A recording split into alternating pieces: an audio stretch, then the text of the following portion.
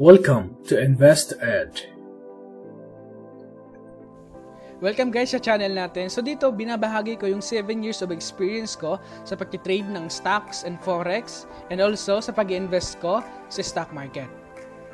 Ang kagandahan pa dito, it's completely free. Ang gagawin nyo lang, i-subscribe at pindutin ang bell button para ma-notify kayo sa mga bagong uploads na lalabas. So kung hindi pa kayo nakaka-subscribe, so please subscribe and hit the notification bell para updated kayo sa mga videos na parating at marami pa kayong matututunan sa channel na ito. So, maraming salamat! East West Banking Corporation, together with its subsidiaries, operates as a commercial bank that provides a range of financial services to individual and corporate clients in the Philippines. It operates through retail banking, corporate banking, consumer banking, and treasury and trust segments. The company offers savings, checking, time deposit, and foreign currency deposit accounts, and auto, home, salary, personal, and corporate loans. It also provides debit, credit, and prepaid cards, trust products, including fund management, investment management, custodianship, administration, collateral agency, and stock and transfer agency services, and cash management services comprising payroll, disbursement, collection, liquidity management, and other services. In addition, the company offers corporate credit facilities, including working capital loans and facilities, inventory financing, guarantees, project finance, term financing, trade finance services, and receipt facility, hedging products, such as fixed income securities and foreign exchange products, and small medium enterprise banking services, such as revolving credit facility, trade checking discounting line, revolving promissory note line, term loan services, non-life insurance brokerage, bank assurance, general insurance and marketing, life insurance and leasing services, as well as internet, mobile, and phone banking services. As of December 31, 2019, it served customers through a network of 391 branches and 584 ATMs. The company was founded in 1994 and is headquartered in Taguig, the Philippines. Welcome sa market performance ni East West. Nakikita natin dito, in 7 days return, up siya by 4%. And comparing to the bank industries na kinabibilangan niya, down by 1.7%. And the Philippine market, down by 0.6%. And comparing to the one-year return of a company, EU exceeds the Philippine bank industry which returned a 34% down over the past year. And comparing to the market, uh, the company exceeds the Philippine market, which returned a negative 24.8% over the past year. And this is the price to earnings ratio of a company. Comparing to the industry, Aero is a good value based on its PE ratio compared to the Philippine bank industries na mayroong average na 5.3 while the PE ratio of a company nasa 2.6.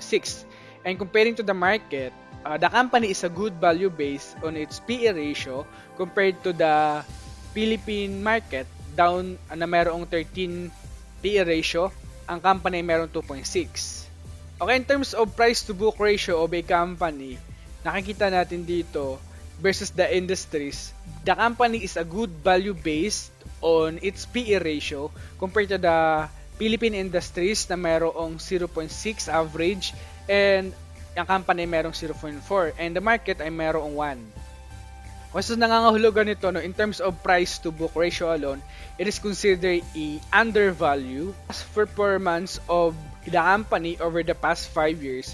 Nakikita natin dito historically yung kanilang annual earnings growth ay merong 23.6 uh, 23.9% And this is the earnings and revenue history ng company. Nakikita natin dito in December 31, 2013, may merong siyang revenue na 10 billion pesos per year, earnings na 2 billion pesos per year, and net profit margin or profit margin na 20.4%.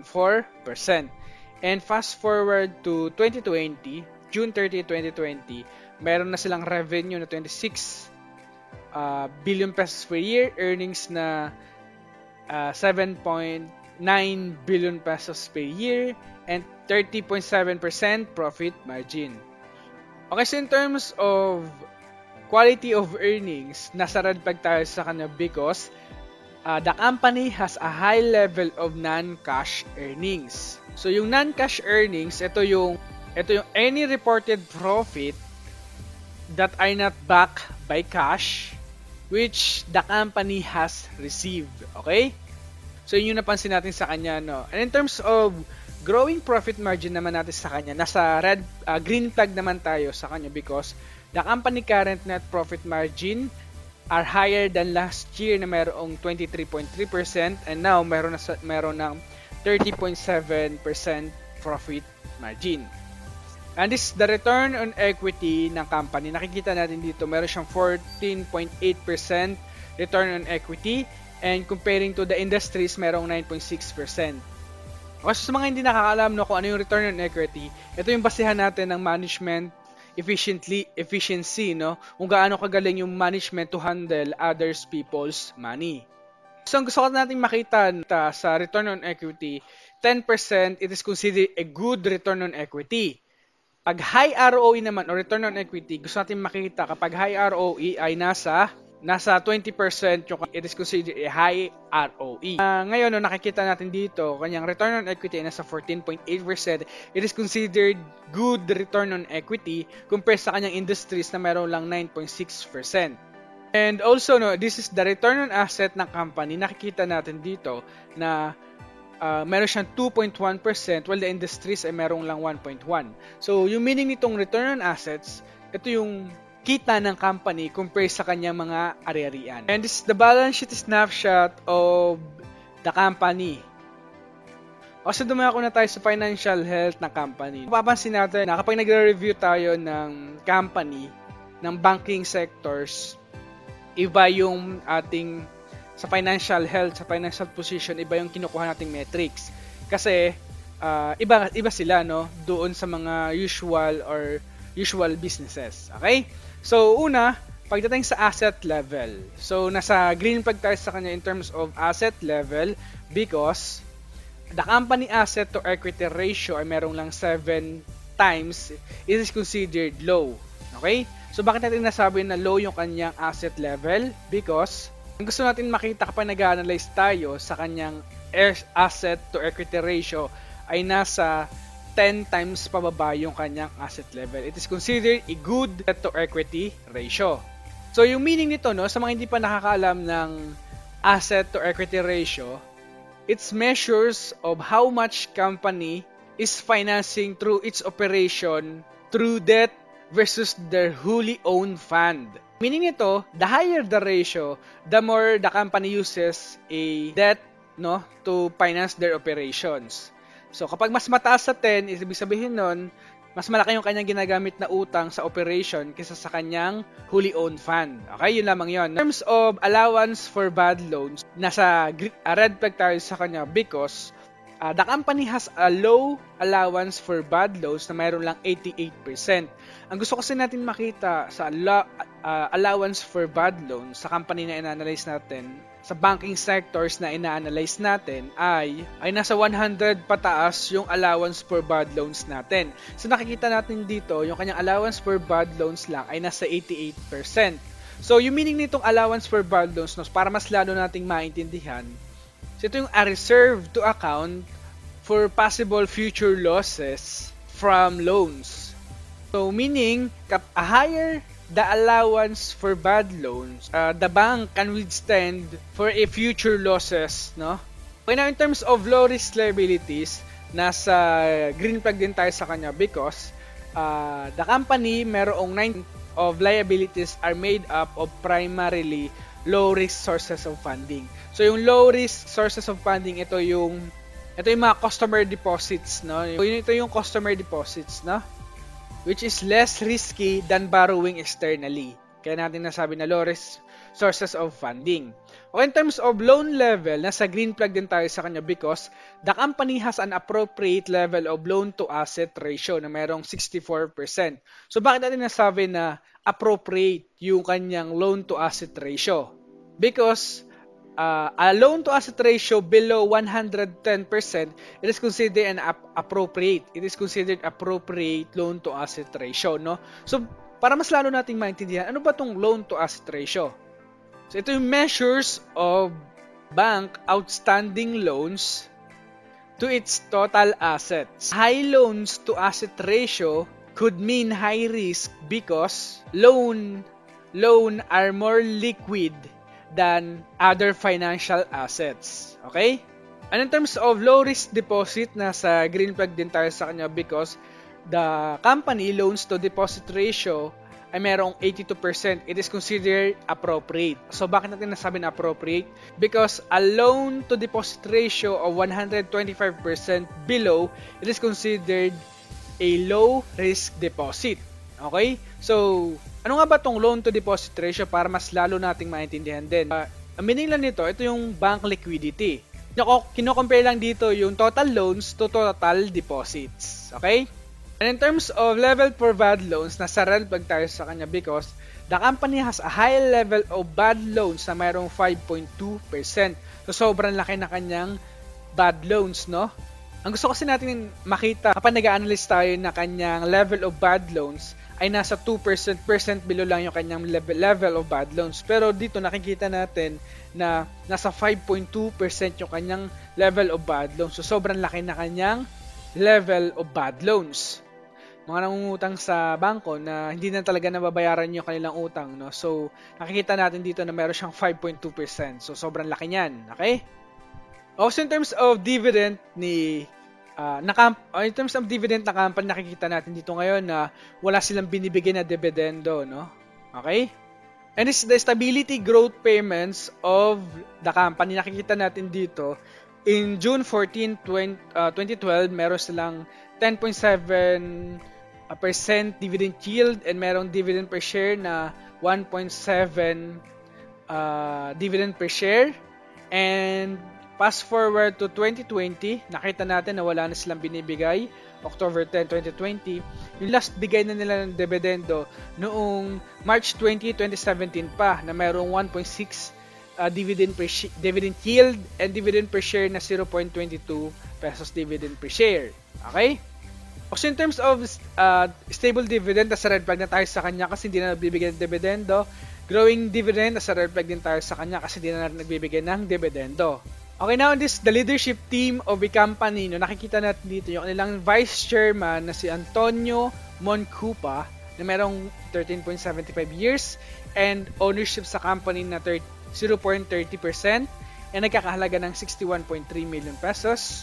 And this is the rest of leadership ng company. And in terms of experience management, nasa green pag sa kanya because the company management team is considered experienced na meron 2.2 years average tenure and average age na 54 years old. And in terms of board member, no, okay, nakita din natin yung mga board members na company. Okay? So in terms of experience board member, nakikita natin dito na nasa green flag din tayo sa kanya because the company board of directors are considered experienced na merong 4.5 average tenure. So yung board of directors, yung pangunahing tungkulin nila ay pangalagaan yung kapakanan ng mga shareholders na company. And this is the ownership breakdown ng company. Nakikita natin dito, 77.9% owned by private companies, 16.8% owned by general public, 3.2% owned by institution, 2.2% owned, owned by individual insiders. So in terms of dilution of shares, so nasa green flag tayo sa kanya because shareholders have not been meaningfully diluted in past year. So sa mga hindi nakaalam no kung anong meaning ng diluted shares, so kapag nag-i-issue, nag-raise ng shares yung company, uh, bumababa yung ownership percentage ng mga shareholders ng company. Okay? And this is the top shareholders na company, no? Nakikita natin dito, 77.85% owned by AL Nom Incorporated na merong current value na 16.1 billion pesos and 1.31% owned by Charles Schwab Investment Management Incorporated na merong 271.4 million pesos. Okay, and this is the rest of top shareholders na company. And this is the number of employees na company. As of June 30, 2020, meron silang 7,200 employees. Okay? Okay so alam na natin no, kung anong meron sa company. Alam na natin kung uh, ano yung financial position ng company ngayon. Ngayon, dumako na tayo sa intrinsic value ng company. Okay, so kailangan muna natin ng forecasted net income ng company. Okay, so yung nahanap natin na forecasted net income ng company, no, in 2020, meron silang forecasted na 5 billion, 5.6 billion pesos net income forecasted. Okay, so sa mga ibang sources na pinagkukunan natin, no, wala, wala tayong mahanap. So, siya lang yung merong forecasted net income sa company. So, meron siyang 5.6 billion net income. Okay na alam na natin kung ano yung forecasted net income ng company. Now, ang susunod natin kukunan yung uh, PE ratio ng company for the past 5 years. Okay guys, so welcome sa BPI 10. Nakikita natin dito yung kanyang PE ratio for the past 5 years, no? So, i-average lang natin to para makuha yung kanyang PE ratio na magamit natin. Okay, so yung average PE ratio ng company for the past 5 years ay nasa 6.3. So, ito yung kukunin natin no, para makuha yung kanyang future market capitalization ng company. Para makuha yung future market capitalization ng company, so yung nakuha nating PE ratio, ta-times lang natin siya dito sa ating future net income ng company. Kasi yung future market capitalization ng company ay nasa 35.4 billion pesos. Okay, na alam na natin yung future market capitalization ng company. Ngayon titignan natin dito yung kanyang current market cap. Okay? Nasa writers.com tayo. No? So nakikita natin dito yung kanyang current market cap ay nasa 20.6 billion pesos uh, market cap. So ito, itong current market cap, di-divide natin siya doon sa ating future market capitalization para makuha natin intrinsic value ng company. Okay so yung ating nakuha ay nasa 0.58. Okay no? So ang gagawin natin, yung ating current market price ni East West ngayon uh, ni ni EO ay nasa 9.20 per share. So ang gagawin natin, i-divide natin itong current price dito sa atin nakuha para makuha yung intrinsic value ng company. Okay, so yung ating intrinsic value kay East West ngayon ay nasa 15.86. Okay? So, nakuha na natin, alam na natin yung intrinsic value ng company. Ngayon, magkakaroon tayo ng margin of safety sa kanya. So, para makuha yung margin of safety ng company, kailangan natin siya i-times sa 0.80 para makuha yung 20% margin of safety natin. So, ibig sabihin, nasa 12.69 o nasa 12.69 kung round off natin to, no? Yung kanyang margin of safety. Summary na pag-aaral natin sa intrinsic value ng East-West. So, yung ating intrinsic value na nakuha sa kanya ay nasa 15.86 So, yung ating margin of safety sa kanya ay nasa 12.69. So, meaning, kapag yung presyo ay nasa margin of safety or below margin of safety, it is considered by rating sa loan in terms of intrinsic value. So, ng time na ina-analyze natin siya, ay yung kanyang current price ay nasa 9.20 pesos per share. And kung titignan natin, no, nasa below siya ng margin of safety, kaya yung ating position sa kanya ay nasa buy rating tayo sa kanya in terms of intrinsic value alone. And meron tayong potential upside na 42%. Okay? Kapag na-reach niya yung 15.86 uh, na, na ating intrinsic value sa kanya, so yung potential upside niya ay merong 42%. Okay? O so yung summary na pag-aaral natin sa company na to, no, yung nakita nating red zone ay there's a high level of non-cash earnings And nakita naman in green zone sa kanya, the company is currently profitable. Earnings have grown by 23.9% per year over the past 5 years. Share price has been stable over the past 3 months. Profit margin improved or uh, the company became profitable. At least 3 years of financial data is available. No concerning event detected. Shareholders have not been meaningfully diluted in past year or recently revenue is meaningful, market cap is meaningful. Okay, so pag review at pag-analyze ng stocks, magkakaroon tayo ng idea kung anong meron sa company. Makikita natin kung ano yung uh, strength and weaknesses na company. And also, sa pagre-review ng stocks, magkakaroon tayo ng matibay na konklusyon at matibay na pundasyon sa pag invest natin sa stock market. At hindi lang tayo basta-basta pasok sa company na gusto natin pag-investan kasi napaka-importante na alam natin no, kung ano yung intrinsic value ng company at anong presyo tayo bibili sa kanya. And, and sabi nga also ni Warren Buffett, price is what you pay, value is what you get.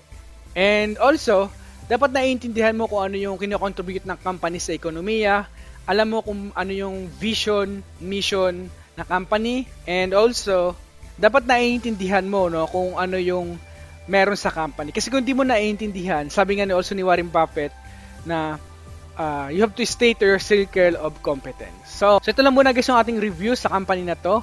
And as always guys, uh, invest wisely and see you on the other side.